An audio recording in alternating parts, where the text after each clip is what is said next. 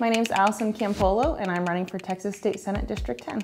My name is Beverly Powell, and I'm running to defeat Konni Burton in the State Senate District 10 race.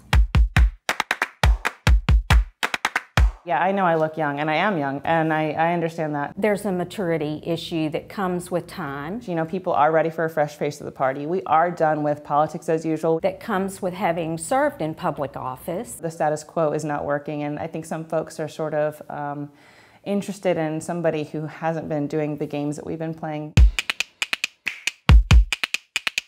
I think I'm for sure more a Hillary type candidate. I voted for Bernie Sanders in the primary and then I voted for Hillary Clinton in the general. I've lived a life of public service. But I wouldn't identify with Bernie. I mean, I'm not an independent, I'm a Democrat. This is a time for women candidates to shine. I don't know, there's a lot of good folks in the Senate, maybe an Elizabeth Warren, uh, Kirsten Gillibrand, Tammy Duckworth, some of those kinds of folks.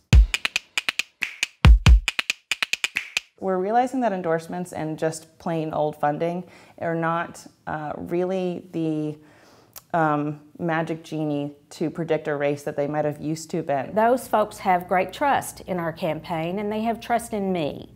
That's what the voters need to understand from our endorsements.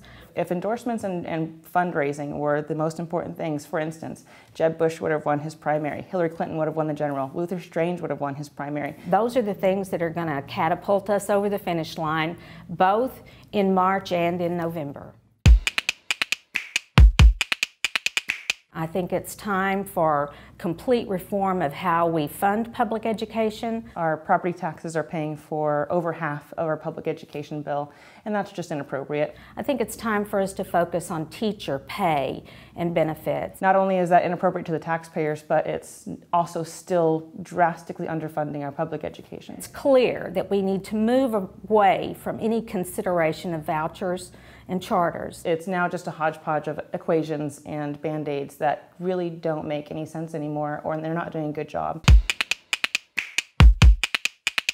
I really don't like to talk about Donald Trump, but I think Donald Trump is really a big reason for the, uh, the surge of women running. Women um, are standing up and saying it is time for a compassionate form of governance. We need to move beyond this misogynistic, um, divisive, and discriminatory form of governance that we're in right now.